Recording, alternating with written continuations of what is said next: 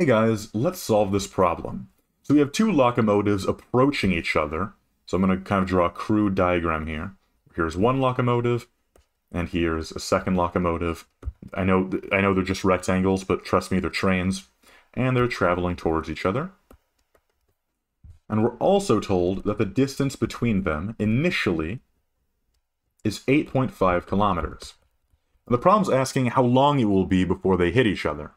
Now this problem is actually a lot easier than it looks, because since both trains are traveling at the exact same speed, oh sorry, locomotive, since they're both traveling at the exact same speed, that means that both vehicles will travel exactly half of this distance before they finally hit each other. So really all we need to do is take our speed equation, v equals d over t, and then use this to find the amount of time it takes for one of the locomotives to travel half of 8.5 kilometers.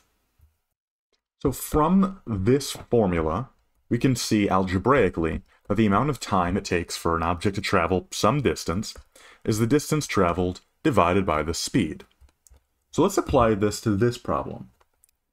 So we're looking for the amount of time it takes for the train to travel half of 8.5 kilometers, which is 4.25 kilometers, and we're dividing this by the speed that one of the trains is going at, which is 155 kilometers per hour.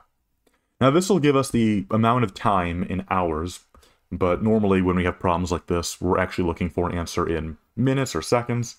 To be honest, the problem doesn't specify, so I don't really know what they're looking for. So I'll convert it to each. If you just plug this into a calculator without doing any other conversions, then we find a time of about 0.0 274 hours. If you add a unit conversion to convert from one from hours into minutes, then we find a time of about 1.6 minutes. If you instead convert from hours into seconds, then you get a time of about 99 seconds. So yeah, so any of these answers are valid answers to this problem. And that is it for this problem. I hope this video helped you out. If it did, please consider subscribing or checking out my Patreon, as that'll help me out make more videos just like this one. If you have a request for a future video, leave a comment down below, and I hope you all have a lovely day. Bye-bye.